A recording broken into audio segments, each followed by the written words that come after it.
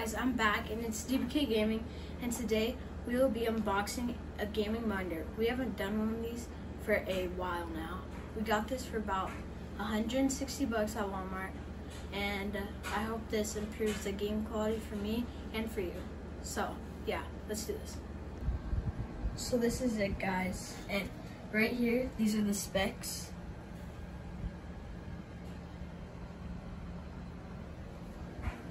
And let's unbox it. Okay, so right when you open it, you'll get the power cable. And uh, we're gonna set the camera down for a second just because it says to open this a specific way and we don't wanna ruin it. So yeah.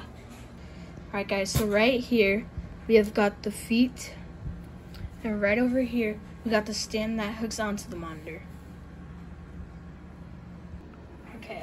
The ground because my setup was too like it had the monitor on there so yeah. All right so this this part attaches onto this okay? And by the way guys this does not require any tools because you can twist them on with your finger. All right guys so this is what i meant by no tools. It just has those things right there you flip them up and then you just twist them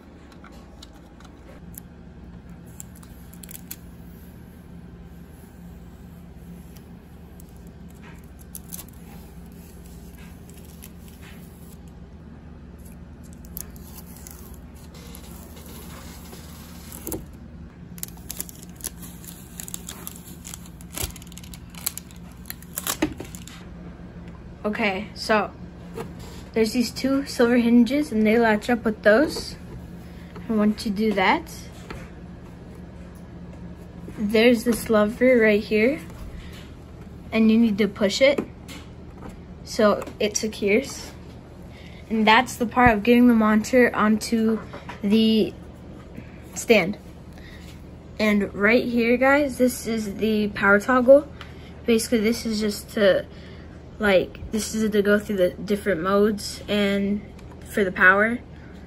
It's like a little like like obviously on like a controller they have toggles that's what it's exactly like. And yeah we'll show you guys what it looks like when we're in game okay guys so we haven't fully set it up yet but that is just running down there and we need to run through the back. But guys this resolution is just amazing. It's unexplainable. I love it anyways, that's going to be it for this video. Um, if you guys want one, it will be linked in description. And uh, thank you guys for all the support. Make sure to subscribe and hit that like button. And yeah, thank you for watching.